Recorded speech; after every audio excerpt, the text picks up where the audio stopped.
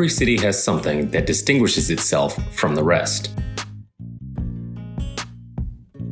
An attribute that highlights its unique qualities. Perhaps it's a tourist attraction, or the local university, the birthplace of an American favorite, or maybe it's the people.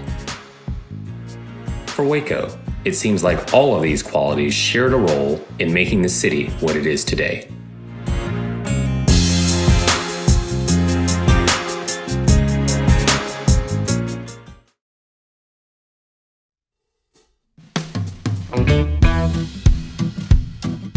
Founded in 1849, Waco has become a sort of diamond in the rough in the state of Texas. However, until recent years, the city has been, for the most part, a drive through town, a mere pit stop between Austin and Dallas, and definitely not known for its great first impressions. My first impression of Waco would be um, uh, lots of construction. It was very empty. Um, I didn't think I was gonna like the school, so I was kind of like, yeah. Old, uh, kind of rustic. It's uh, it's a college town. It's really it really is friendly. It's got a lot of nice people. It's it's welcoming, uh, and it's a pretty town. Minus you know the construction. It's really been neat getting to know Waco more. Um, just kind of learning about the different parts of it that make Waco what it is. While Waco has experienced its fair share of tourism traffic, as well as construction related traffic in the past couple of years, the one thing that consistently attracts new people is the nearby educational institution, Baylor University. Established in 1845, Baylor remains the focal point of the city of Waco. Built along the banks of the Brazos River, the university actively creates an environment where students and faculty can feel a sense of community. Uh, honestly, I, I just liked it. I like the campus, I like the people, I like the community, and I like the university's beliefs. Um, I liked what they stood for, so um, I chose to come here. It was also a good distance away from home, good sports teams, so seemed like a good choice. Uh, mine was kind of a calling type deal. As soon as I visited on campus, I knew this was where I needed to be, where I needed to continue growing um, academically and just as a person. So I had no hesitation when I applied here. I didn't actually apply anywhere else, and this is where I decided to go to school, and um, wouldn't change my decision at all. It was just a great place. I could tell I really like like just overall the people that are in Baylor, the people that are in Waco. It's very nice and like the size. It's like it's like living in a city still, but it's like a small town feel where you can like run into people that you know just out and about. And I really like that like close knit community feel. I started coming to like football games and like Baylor activities because of my sister. So just like grew up around Baylor culture.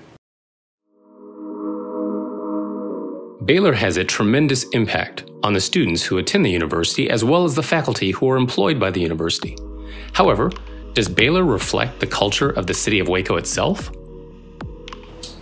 I say it's kind of different only because Waco is kind of it has two sides to it, and where Baylor is placed is placed in a side that is just um, not it's not the best uh, economically, you know. They don't have the best housing and everything. But the other side of Waco, which is further away from Baylor, it has better housing, better school districts, and all that.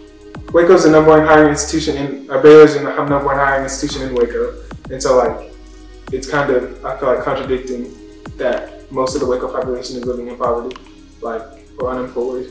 Um, so it kind of goes to show that most of the money that's coming through Baylor is simply for like the institution alone. Everything kind of feels like Baylor, even like in the surrounding area around Yeah. campus.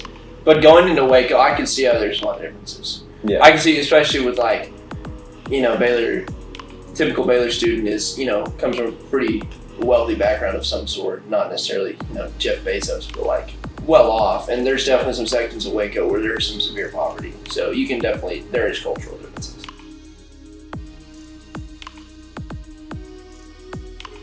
Every college town exhibits differences between the school and the rest of the community. Those differences only leave room for improvement, which begs the question do Baylor events have any impact on the local Wacoans' lives? Oh, major, major. Everybody knows that. Uh, not even events, just Baylor being in school, period. Even when summertime comes, like my business slows down when uh, students are not here. So Baylor definitely plays a major part in like the economics. Football games, uh, definitely an increase in traffic and stuff like that. Um, and then it's probably a good revenue source for food and restaurants, kind of the supporting businesses.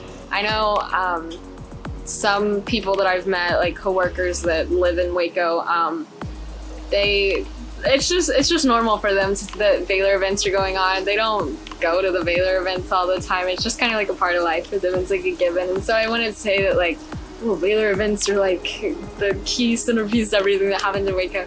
But I do think that they add like a special aspect to just like having the Baylor influence that is here in Waco. It definitely has changed Waco in several ways.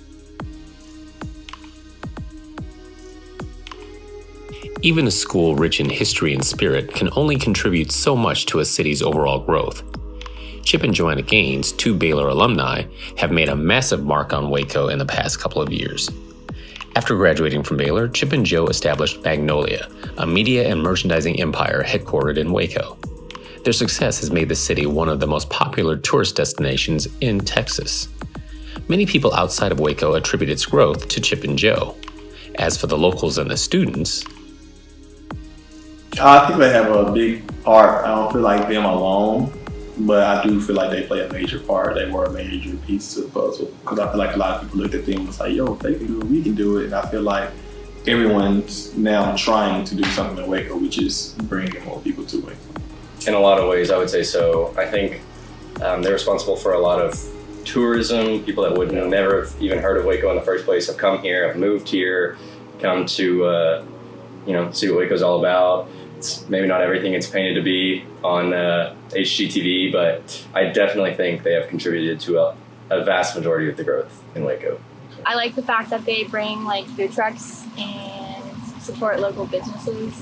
I do think that they've helped a lot. Um, just kind of putting it on the map as a kind of a tourist stop on the on I-35 going through Texas. The growth of smaller cities definitely has its benefits, but these changes can overshadow the things that made these towns unique. Is Waco currently in a phase of gentrification? I hate that question.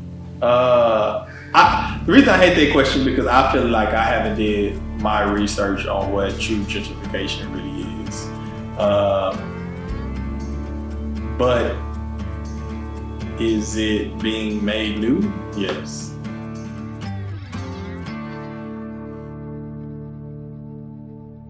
Even during a pandemic, it seems that there's more happening in Waco than people think. But does this also apply to Waco's nightlife?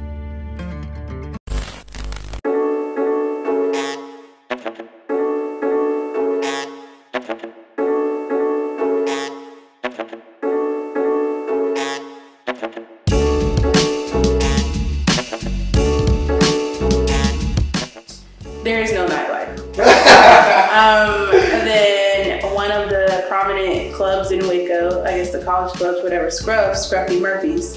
It just opened this past weekend, and a lot of people are scared to even go, even though that's like the number one spot. So for bars and stuff, you got to be 21 in most of them, and like parties aren't a thing really. Just like small gatherings of less than 10 people, of course. Yeah, so I like coaches a lot. I do too. Yeah, there's there's a couple good there's bars. a decent amount there's, of nightlife. You know, you know I mean, it's there's, there's more. There's more than people think. Yeah, Baylor's always also got something going on, sports games, things Yeah, like that. yeah, for sure, activities, for sure. Where where Baylor lacks in nightlife compared to like a you know tech college station Mhm. type of deal. Yeah. Like we definitely have a lot of great academic events and stuff to do on campus. So So maybe Waco isn't known to have much of a nightlife, but it is known for being the home of a particular soft drink that has become an American favorite Dr. Pepper. As one of Waco's staples, it is ingrained in the city's culture. I like Dr. Pepper. Yeah, if I was to drink soda, I would choose Dr. Pepper. Uh, if I was to choose a dark, if I would probably choose like Big Red or Sprite and stuff like that. But yeah, dark, I would go with Dr. Pepper. Oh, big fan. Definitely best drink out there. Never gonna change. Love it. It's my favorite drink. Yeah, favorite soda. I'm not a fan. It's overrated. Honestly. It is Super overrated. I can drink it. I like it. I, I agree. I don't like hate it. It's not like I'm like you know hey Dr Pepper, but it's not like amazing. It's not even my. Favorite, It's never my to first It's- choice. Yeah, it's never my first If choice. it's yeah, It was just super like untexan thing to say. Like I feel like we're supposed to be like, oh my gosh, but it's it's overrated. I mean, it's okay. Like, it's not. If someone handed it to me and I was thirsty enough, I would drink it. Okay, to be honest, Dr. Pepper tastes the same as Coke to me. Well, everyone is entitled to their opinion. We've seen how Waco has grown in recent years due to tourist attractions and Baylor's presence, but can this growth be sustained, or will Waco's expansion eventually come to a halt?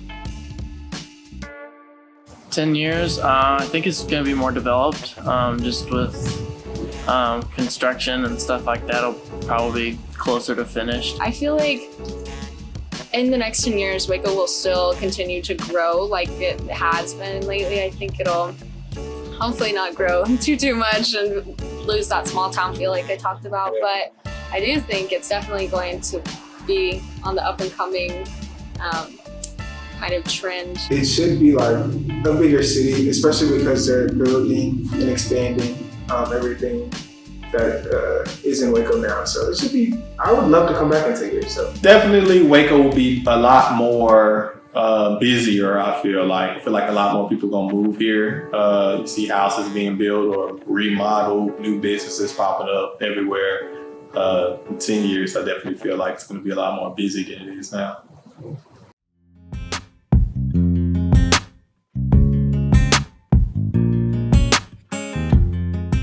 While it isn't quite on the level of Dallas or Austin in terms of popularity, Waco is definitely making a name for itself.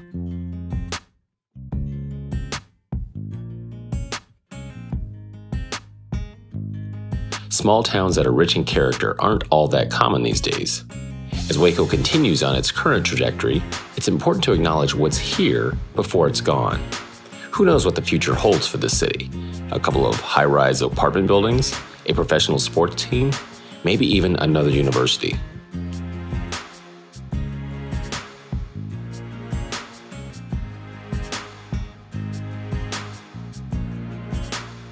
Regardless of what comes next, Waco is clearly enjoying a season of rebirth.